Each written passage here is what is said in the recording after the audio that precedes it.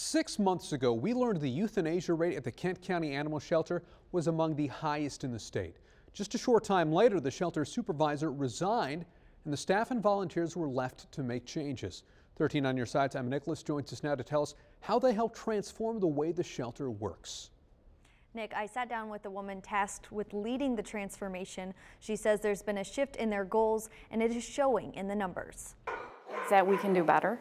It's been a trying six months, says Kent County's environmental health director. Historically, haven't had the, the euthanasia rates that our county, our residents expect.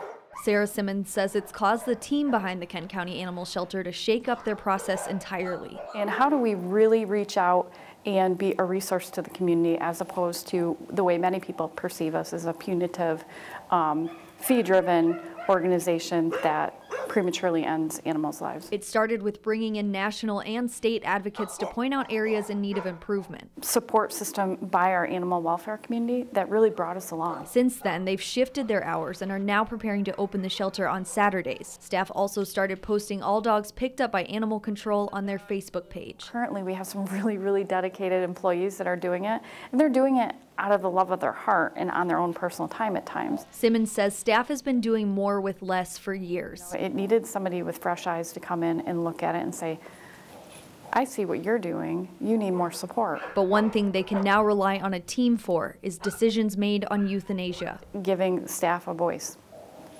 you know, and, and knowing that they're heard and they're not alone in this. Which has played a role in reducing the number of dogs and cats euthanized. Looking back, Simmons says it was never one person's fault. She says it's a system, one that they are now changing. I just got to lay it out there is I'm proud of where the animal shelter is going. I'm proud of the people that work here.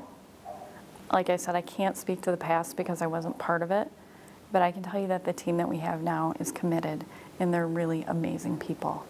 And with amazing people, you can do amazing things for the animals. Simmons also wanted to clarify that they are looking for a volunteer coordinator so they can finally bring on more volunteers in addition to their core group of 20. And as far as finding a new supervisor, she says they're in the interview stages for that. Nick?